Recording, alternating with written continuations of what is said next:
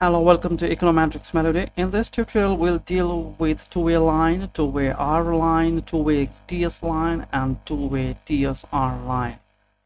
So we will deal with line graph, two-way line graph, and two-way line graph, normal two-way line graph, and the time series line graph.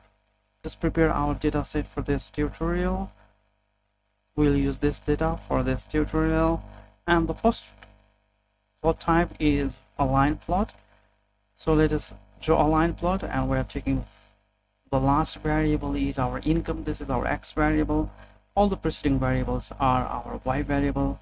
So the number of y variables will be represented by the legend these are the y variables. Different color. Now let us uh, manipulate something we are going to marker symbol. We are going to ignore the marker symbol and we are going to draw the same plot by using the scatter plot and we are going to connect the scatter points by line and we must get the same result.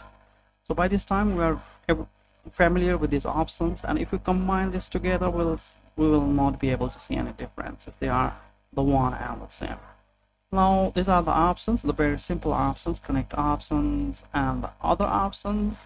We have already covered these options in our previous videos. And uh, let us see some of the examples. So we run a regression we predict the error term and then we set a confidence interval for that error term and then we again we set a confidence interval for this income hat. So we use the income. It's a dependent variable and we're setting it we predict the income hat.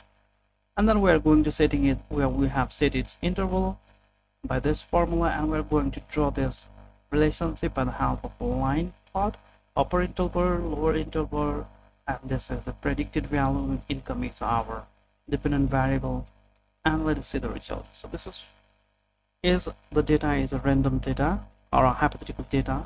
So the linear estimate is a bad idea.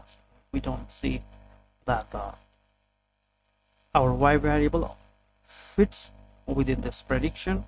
And let us draw them all. However we, we have employed the line plot type to draw this graph. And let us quickly move to the second plot type. It's a range r line. It stands for range of line. And by the range by the name range we imagine the range type of variable. So high and low is the range variable and the last variable is the x variable and we get a simple graph. So we have used two line two two plot types r line and line. So this middle line this represents the close value.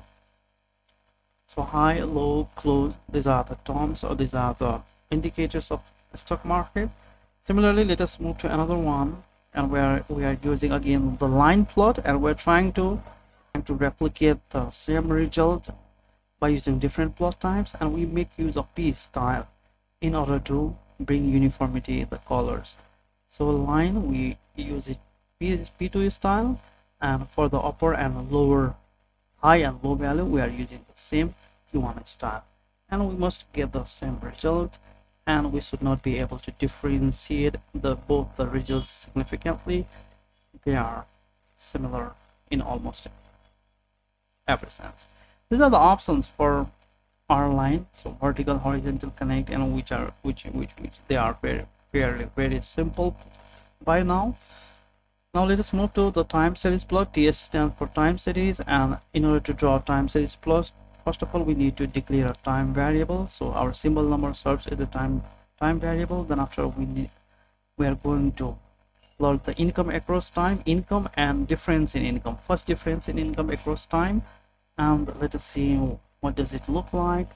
So this is income the first one and this is the first difference of income.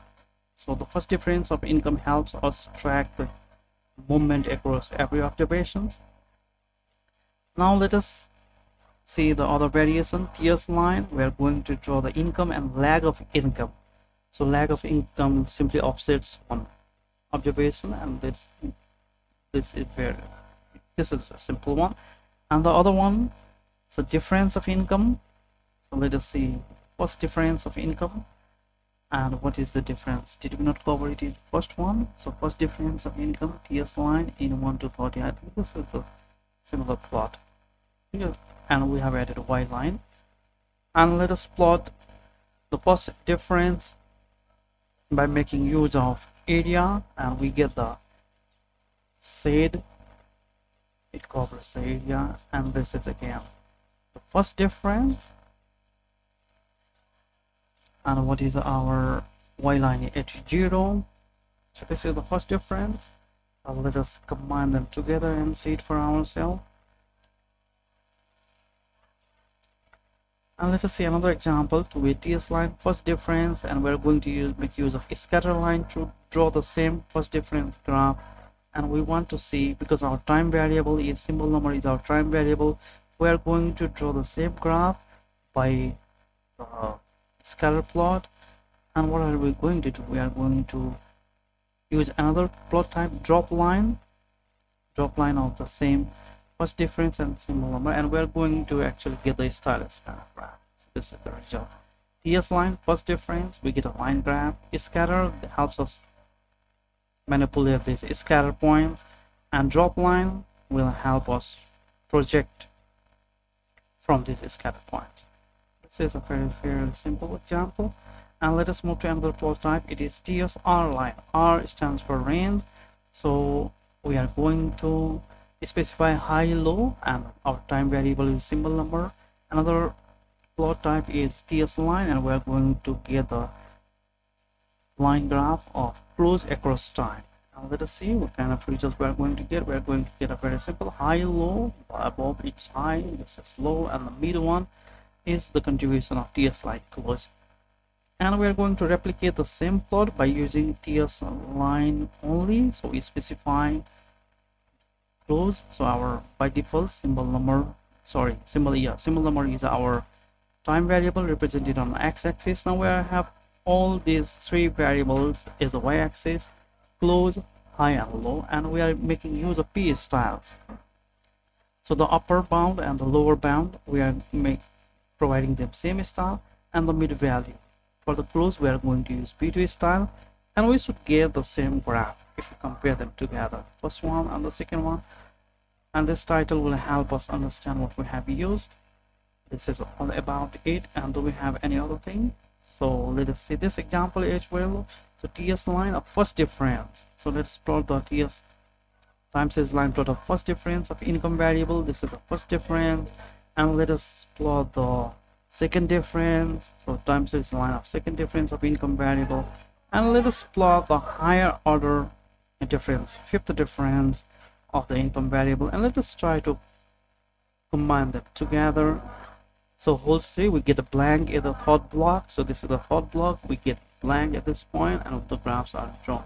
So this is the first difference and these are the second difference and fifth difference respectively. Let us drop them all. And this is all about this tutorial. It's a time to thank you all for your precious time. Thank you very much. Thank you very much for your time. Econometrics melody